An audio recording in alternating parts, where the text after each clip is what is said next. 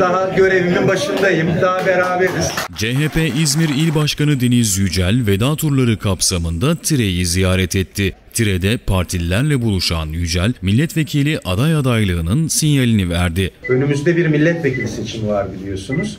Milletvekili aday adaylığı için e, istifanın ha yani öyle bir süre kondu. O süre doğrultusunda da ben de önümüzdeki günlerde bir adım atabilirim.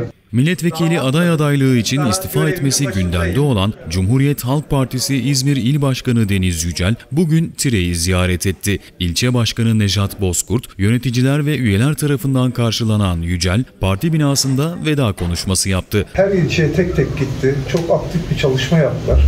Bu çalışmalarından dolayı da yani yetişemedim ben o şey gruplarından yani Twitter'ından tek bir Twitter'ı takip ediyorum. Yani başkanım bir bakıyorum aynı anda 5-6 yere gidiyor. Kendisinin bu çalışmalarından dolayı kendisine çok teşekkür ediyorum. Önümüzdeki günlerde il başkanlığı görevinin 5. yılını dolduracağını belirten Yücel, milletvekili aday adaylığının sinyalini verdi. Önümüzdeki haftalarda e, il başkanlığındaki, il başkanlığı görevindeki sürem 5 seneyi dolduracak. E, partimiz bir genelge yayınladı. E, örgüt görevi yapanlar, il başkanları, ilçe başkanları, il yöneticileri, ilçe yöneticileri için bir genelge yayınlandı.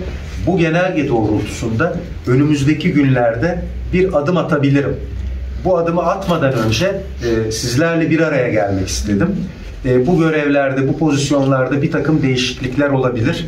E, değişiklikler olsa bile biz yine beraberiz, yine birlikteyiz. Yine bu mücadeleyi hep birlikte devam ettireceğiz, sürdüreceğiz. Bizim mevkiye, makama, ünvana, titre ihtiyacımız yok. E, bizim için en büyük onur Cumhuriyet Halk Partisi üyesi olmak zaten. Bize en büyük sorumluluğu üye olmak zaten yüklüyor. Milletvekili aday adaylığı için e, istifanın ha yani öyle bir süre kondu. O süre doğrultusunda da e, ben de önümüzdeki günlerde bir adım atabilirim. Daha atmadım.